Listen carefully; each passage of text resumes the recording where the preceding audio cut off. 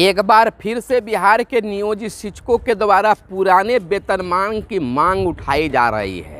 कहा जा रहा है कि जिस प्रकार से पुराने शिक्षकों को वेतनमान दिया जाता रहा है, उसी प्रकार से अब नियोजित शिक्षकों को भी वेतनमान दिया जाए। लेकिन हाई कोर्ट के जीत और सुप्रीम कोर्ट के हार के बाद में प्रक्रिया ही कुछ बदल गई, सरकार की सोच ही कुछ बदल गई। धरना प्रदर्शन का दौर चलता रहा है, कोरोना काल के बलि चहक गया और जो मांगे मिली, मांगे तो पूरी नहीं हुई, लेकिन कुछ वेतन की बढ़ोतरी हुई, वह अप्रैल महीना से होने वाली है। फ़िलहाल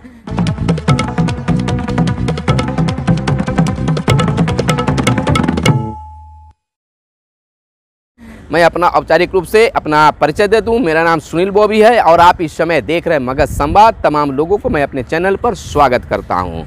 चलिए, एक बार फिर से बिहार के नियोजित शिक्षक संगठनों के द्वारा पुराने वेतन मांग की मांग उठाई गई है। कहा जा रहा है कि अब शिक्षकों को भी पुराने वेतनमान दिया जाए, जिसके लिए कहा गया है कि जो इसके सही हैं जो लगता है सरकार को कि इनको मिलना चाहिए तो वैसे शिक्षकों को यह मिलना चाहिए। यह बातें जो है, टीएटी, एसटीएटी नियोजित शिक्षक संघ के द्वारा एक वर्चुअल बैठक के दौरान सरकार से मांग उठाई गई है। कहा गया है कि ऐसे शिक्षकों को जाँच परख करने के बाद में, पारदर्शिता के साथ में, टीएटी टी शिक्षकों ने पुराने वेतनमान वाले शिक्षकों के समान वेतन की मांग फिर से उठाई है। उनके समान, पुराने वेतनमान की मांग उठाई है। यह मांग टीएटी, एसटीएटी, उत्तरी नियोजित शिक्षक संघ, गोपगुट के प्रदेश पदाधिकारी मंडल की बैठक में रविवार को उठी। बैठक ऑनलाइन हुई।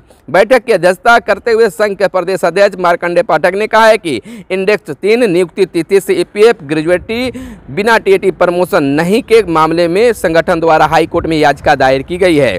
बिरमन तिथि से ग्रेड पे के मामले में भी अमान्यवाद दायर करने की तैयारी है। प्रदेश सचिव साकिर इमाम अमित कुमार, नजीर हुसैन और संजीत पटेल ने कहा है कि नौ प्रशिक्षित शिक्षकों के एरियर भुगतान और नियमित वेतनमान भुगतान को लेकर सरकार का रुख निराशाजनक है। प्रदेश प्रवक्ता सोनी पांडे, प्रदेश मीडिया प्रभारी राहुल विकास और प्रबंधन समिति सदस्य प्रमोद कुमार ने कहा है कि आईटी और एनसीटी के सभी मापदंडों के पूरा करने वाले शिक्षकों को पूर्ण वेतनमान देकर उनका शोषण किया जा रहा है।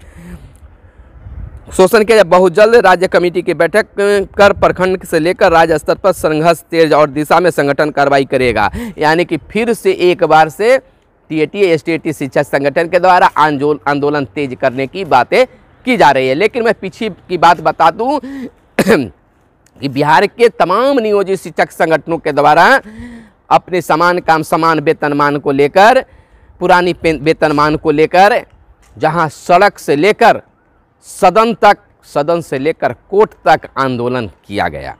मांगे उठाई गई। पटना हाई कोर्ट के द्वारा नियोजित शिक्षकों को समान काम, समान वेतन का आदेश दिया गया, लेकिन बिहार सरकार के द्वारा नहीं माना गया और सुप्रीम कोर्ट में उस मामले को लेकर चला गया, जिसमें लगातार कई तारीख पर तारीख तारीख पर तारीख मिलते गए, लेकिन ऐसा उस समय शिक्षकों को लग रहा था कि जीत हमारे सामने है, क्योंकि जो भी वकीलों के बीच डिस्कर्स चल रहे थे, उन तमाम चीज़ों से ऐसा लग रहा था। न्यायाधीश के रुख को देखकर ऐसा लग रहा था कि जीत तो शिक्षकों का ही होगा, लेकिन जब डिसीज़न आता है तो बिल्कुल साफ़ हो जाता है कि नियोजित शिक्षकों का समान वेतनमान बिहार सरकार चाहे तो अपने फंड को देखकर दे सकती है। इस पर कोई हस्तक्षेप नहीं है। निराशा लगी अब देखिए कि फिर से बिहार विधानसभा चुनाव से पहले नियोजित शिक्षकों के द्वारा तमाम संगठन मिलकर आंदोलन किया गया। आंदोलन काफ़ी तेज रफ्तार से थी। ऐसा लग रहा था कि सरकार अब झुकी कि तब झुकी। सरकार भी सख्ते में आ गई थी। लेकिन कोरोना काल की बलि चक गया शिक्षकों का आंदोलन। और सरकार को भी एक नई राह मिल गई और शिक्षकों को मानवता के नाम पर अपने आंदोलन को समाप्त करना पड़ा।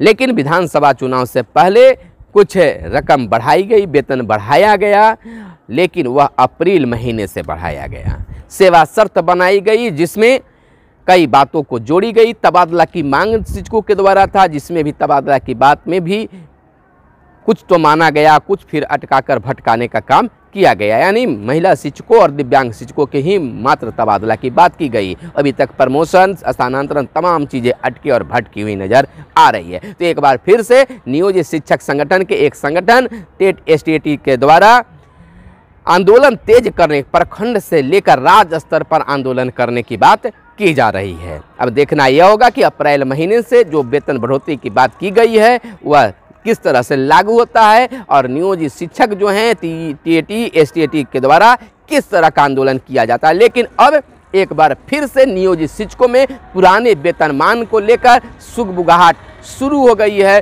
आंदोलन की गति देने की प्रक्रिया। अब तेज हो रही है आवाज़ें उठ रही है, लेकिन अब देखना यह होगा कि वो कब होता है। बीच में पंचायत चुनाव भी है, ऐसा माना जा रहा है कि पंचायत चुनाव के बाद बिहार के नियोजित शिक्षकों के द्वारा एक बार फिर से सरकार के खिलाफ, शिक्षा विभाग के खिलाफ आंदोलन समान काम, समान वेतन को लेकर किया जाएगा। फ़िलहाल हमें दीजिए इजाज़त, हमसे बने, हमारे साथ बने रहिए और जैसे ही संगठन या सरकार के द्वारा किसी भी प्रकार का आपके लिए अगर सूचना मिलती है, अपडेट आता है तो आपके बीच हम लेकर आने का काम करेंगे। फ़िलहाल इजाज़त दीजिए। धन्यवाद। जय हिंद। धन्यवाद। जय हिंद। जय भारत। वंदे मातरम।